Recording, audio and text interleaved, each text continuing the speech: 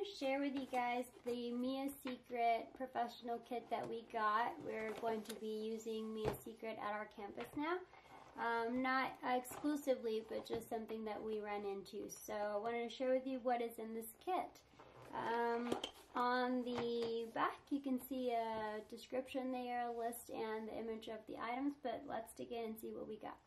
Alright, so this is what comes in the kit. We can start on this side, work our way over. It comes with the hand sanitizer.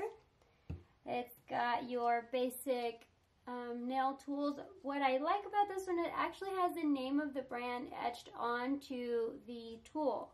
Uh, so like I like that one. We do have our cuticle pushers, okay, the pointy and the slanted side. We have our buffer and our brush.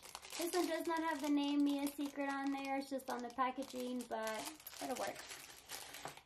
Uh, we have our nail glue, three kinds of nail tips. We have also nail forms. This is the Discovery nail form. There's two little bundles of them in here. With that, we have our, our um, tip slicer. Now, it does it does feel very lightweight, um, although it is pink on the end. It just doesn't have the name of the company on it, and it just seems um, flimsy. I don't know that it convinces me, but um, anyway, this is this nail slicer that they have. They do have three of the files, we, the zebra files, the 100, the 150, the 180 on both sides. So we do have that along with our lint-free wipes. Now, the products they have are the Nail Prep, the Extra Bond, okay? We do have the Liquid Monomer. Uh, this is two ounces with our dappen dish and, of course, um, to be able to pour our, so it doesn't fall out and we can have good measurements. We have uh, our tool there. We have also, I forget the name of this, I our dropper, droplet. All right, so we have also our brush. Uh, and this one is a number eight brush. It's pretty good. It's already pinched, so we're good on that end. What I really like about this, uh, not only is it glittery, but they kind of tried to stick with the primary colors, looks like. So we have similar.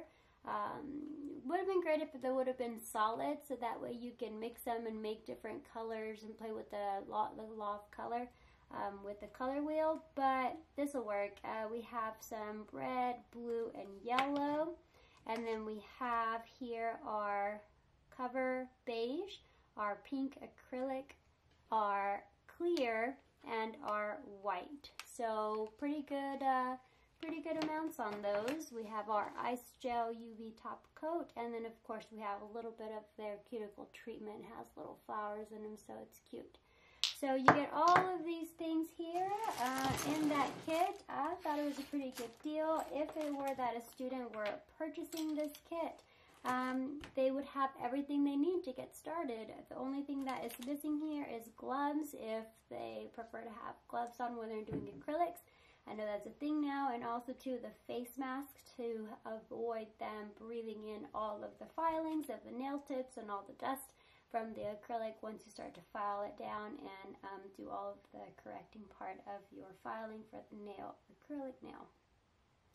So um, other than that, it's a pretty good kit. I'm looking forward to beginning this at school and uh, being able to offer these in our salon days and just allowing the students to have the opportunity to work with good products so that that way now that um, we're going to be able to uh, have this, now we're going to be able to prep the students a little bit uh, better having these uh, good products and a good variety of colors. It'll make them excited to want to learn the skill and being able to do it and offer it to their friends and family and getting them ready to work in the salon.